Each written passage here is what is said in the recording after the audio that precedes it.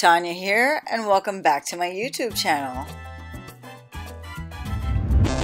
Today is day 28 of my hashtag InstaFit90 Fitness Challenge. Today's workout will be an ab blasting weight room workout. We'll be doing five moves. Depending on whether or not you have the equipment, feel free to swap out some of the items that we use in this workout.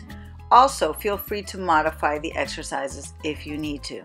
Most of the exercises can be performed on the floor and also without any equipment. Today's workout, we're doing two rounds of everything, but feel free to repeat more rounds if you would like to make this workout longer. Pause your video on the next screen so you can do a warm up for about five minutes. Let's get this party started. We have a medicine ball plank to a toss up. So it can be a burpee, you can add a jump and hang on to the ball or throw it up at the same time. Here we see it in high speed.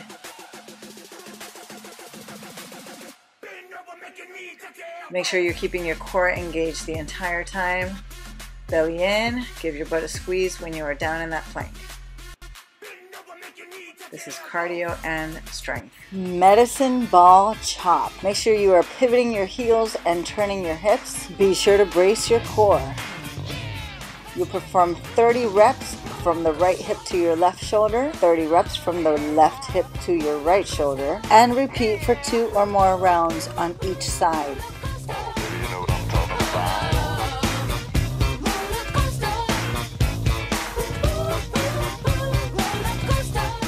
Stability ball cable crunch. Exhale as you come up.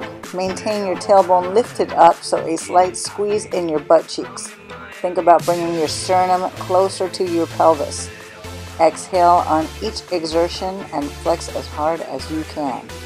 Careful not to hyperarch your lower back. Use your feet to help you stabilize.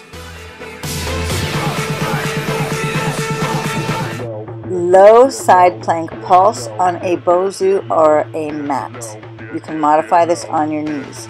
Lift your hips up and down about one or two inches for 30 reps.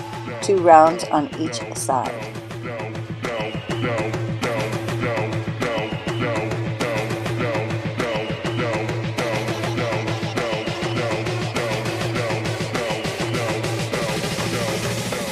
Turn over and do the other side. Make sure you're keeping that belly button pulled in and you are flexing through your obliques. Keep that core braced.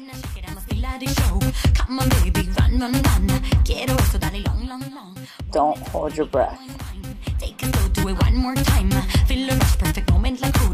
Bird dog on a Bosu or a mat. Bring your opposite elbow to your knee you are contracting your oblique and you are working through your erector spinae and glutes as well. Give me 20 reps on each side for two rounds. If this is too hard on a Bosu, perform it on a mat. Make sure you are lifting your leg as high as you can when you extend.